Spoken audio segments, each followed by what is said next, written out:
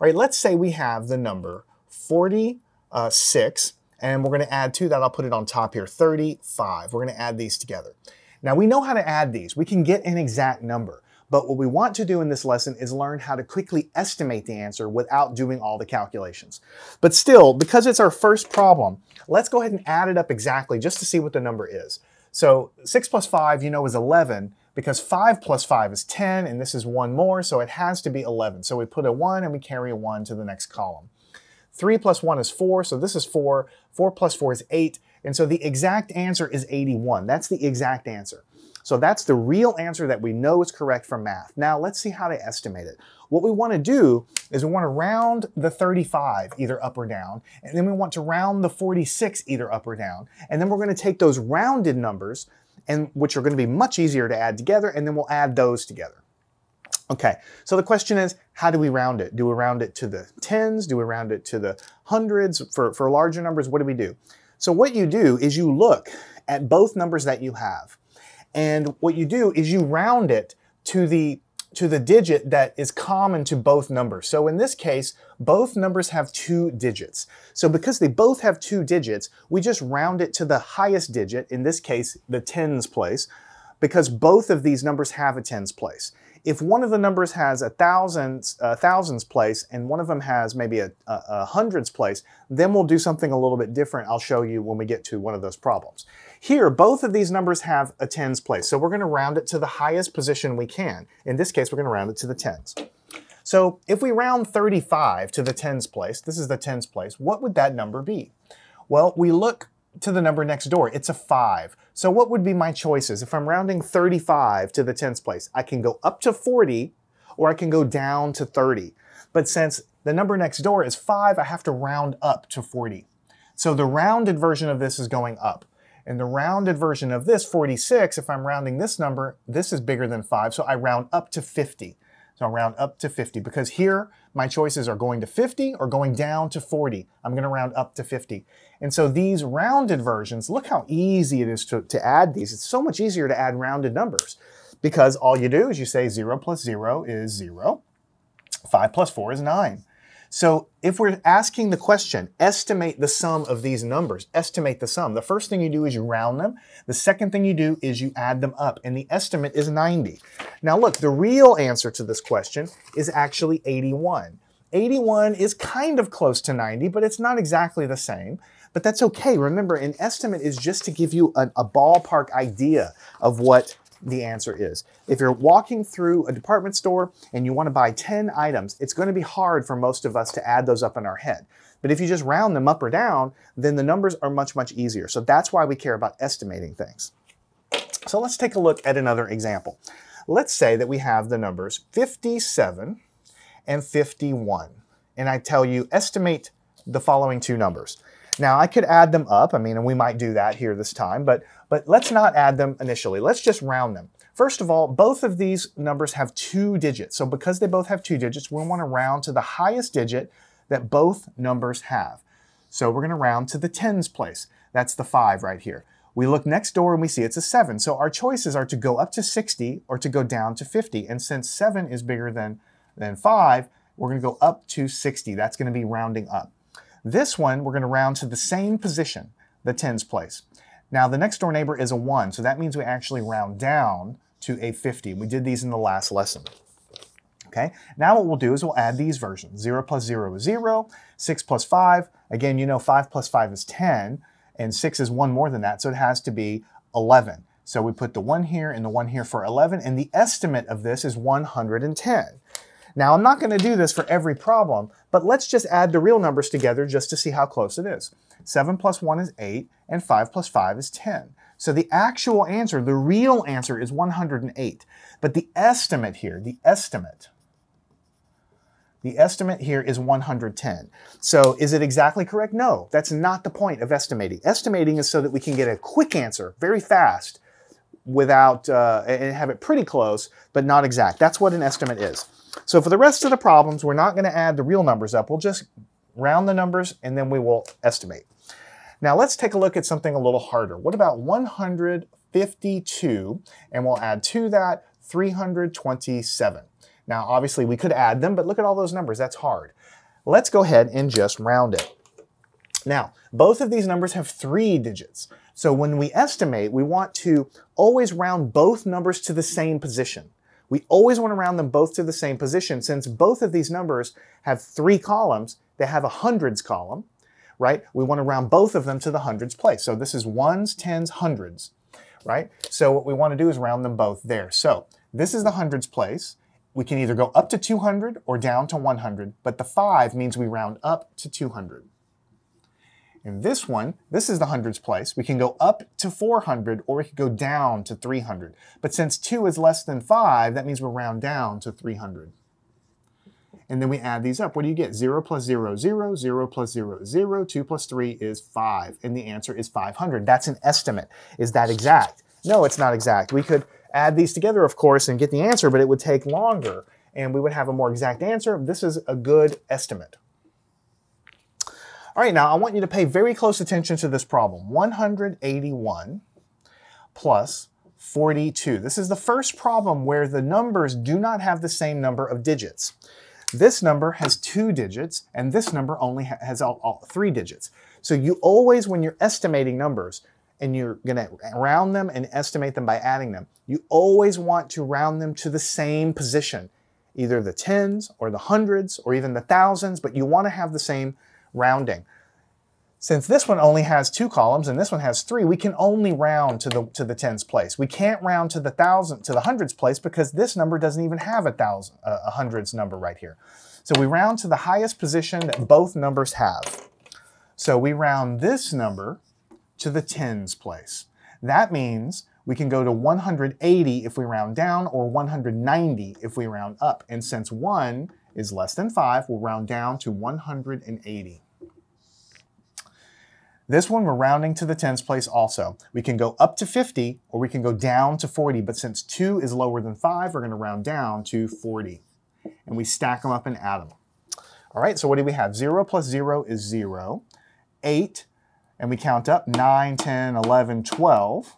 And we have to put carry the 1 right here. And then 1 plus 1 is 2. And so the estimate for this addition is 220. Is it exactly the same as, as this one here? No. Let's, let's go ahead and just add it up just to see. 1 plus 2 is 3. 8 plus 4 is 9, 10, 11, 12. And then we carry the 1, and then we have uh, a 2 right here. So the answer, the real answer is 223, but the estimate was 220. You see, it's pretty close, but look how easy this addition is. It's much, much easier to do. All right, we're gonna pick up the pace just a little bit. We're not gonna go like really fast, but we're gonna pick it up just a little bit so that we can get some practice. 4,679. We'll add to that 578. 578, okay. These numbers have different number of digits. Some have, one of them has four digits, one of them has three digits. So we cannot round them to different positions. We have to pick one. We pick the highest number that both numbers have, the highest column that both numbers have. Both numbers have a third column, so we round here, and that means we have to round to the this is ones, this is tens, this is hundreds place. We round here. So what it means is this number, when we round, we're rounding to this position. 7 is bigger than 5. So because of that, it's 4,700 when we round up. The 6 turns into a 7. And then here, we're rounding to this position. This is also bigger than 5, so we round up to 600. And so then we add them up. 0 plus 0 is 0, 0 plus 0 is 0. What is 7 plus 6? You go up, 8, 9, 10, 11, 12, 13.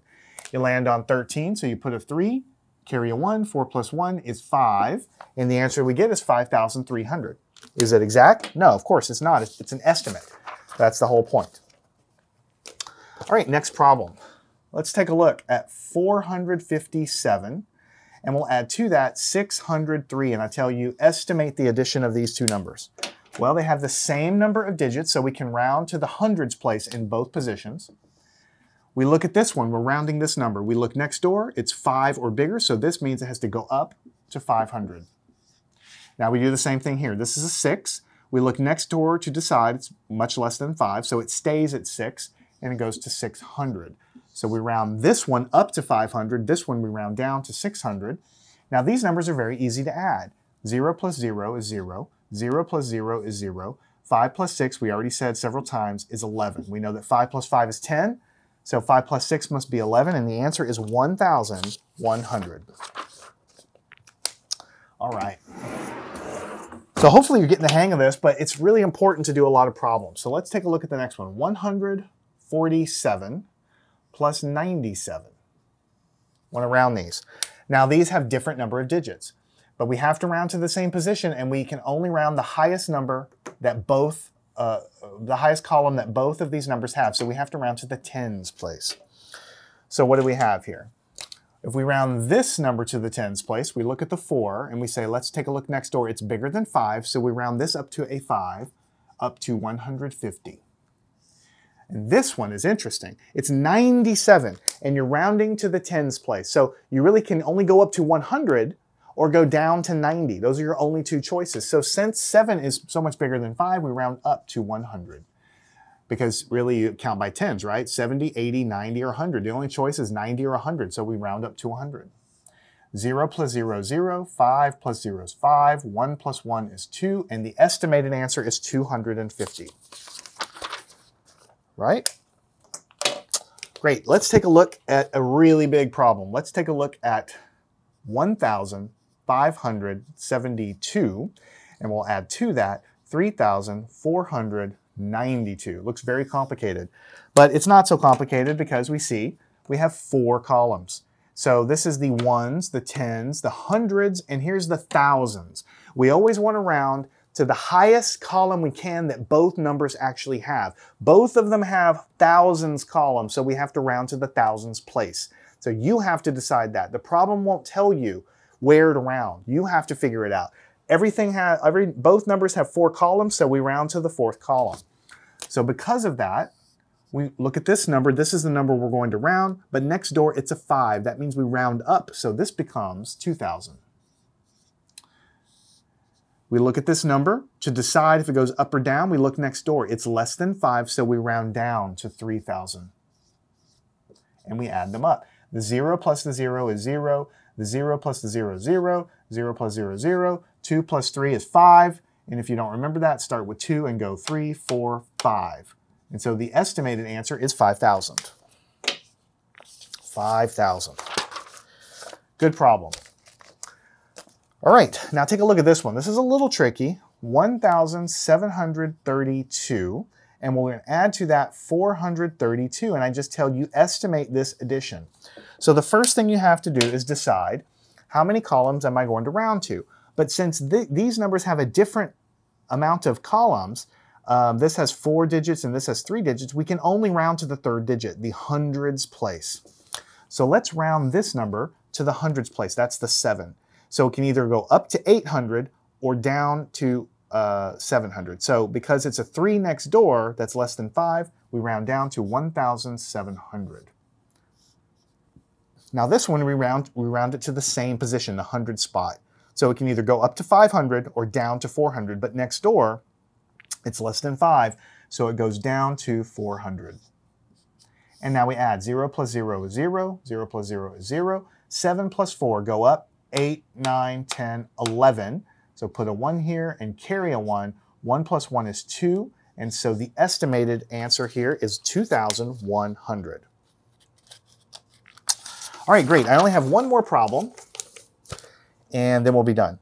Let's take a look at the following problem. Let's take a look at 3,541, and we'll add to that 1,987. And we want to estimate the addition. So both of these numbers have four digits. That means we round both of them to the same position, which is the thousands place.